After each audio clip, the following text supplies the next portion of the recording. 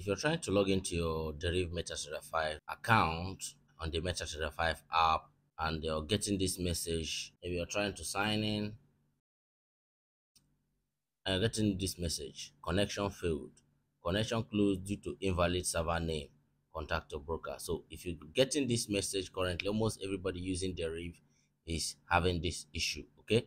If you're having this issue, I'll show you how you can resolve it. The first thing you need to do is to log into your Deriv account. Once you log into your account, just click the menu button right there. Then click Traders Hub. It will take you to this page. Under this uh, Traders Hub, you see Real or Demo. So if it's on Demo, make sure you switch it to Real account. Once you've made sure that it's on Real account, click CFD. So once you click the CFD, then scroll down and click the open button right there. Also note that this process also applies to other account types like financial and the Swap-Free account.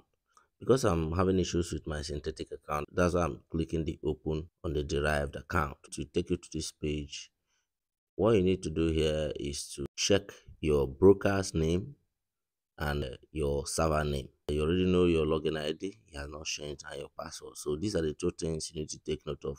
So once you take note of these things, the next thing you need to do is to go back to the MetaTrader 5 app. Remember, my broker here is Deriv SVG LLC, and my server is Deriv SVG server. Okay, so these two things I must take note of them. Let me go back to the MetaTrader 5 app. I close the pop-up message that showed on your screen while you're trying to log in. Uh, click this plus button right here. Then search Deriv SVG. Remember, whatever you see on your account is what you search for. So I'll go ahead and search Deriv SVG.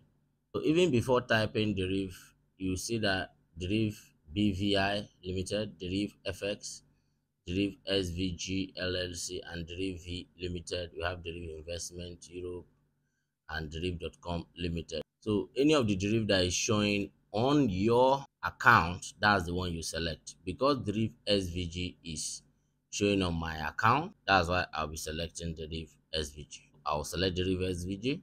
And right here, you input your login ID and here you input your password. And remember the server that was showing on my account because it's a real account, it's not a demo account. It was Deriv SVG server. So I'll click on it and select Deriv SVG server. And note if Deriv uh, SVG server 2 was showing on your account, select Deriv SVG server 2 or Deriv svg server 3 depending on any of the uh, servers that was showing on your account. But because Deriv SVG server was showing on my account that's why I'll be selecting this. So once you're done inputting your login ID your password then you click the login button. So let me go ahead and input my login ID and password I'm done inputting my login ID and password. Make sure your password is correct and uh, is case sensitive if you don't know. So i'll go ahead and click the login button okay? So let's see. Once you click the login button you see that automatically you have logged in okay into your account. So once you click uh, the quote page you see all your assets right here so this is how you should resolve the issue. That'll be all for this video guys. If this video was helpful don't forget to hit the like button and also subscribe to the channel. Talk to you in my next video guys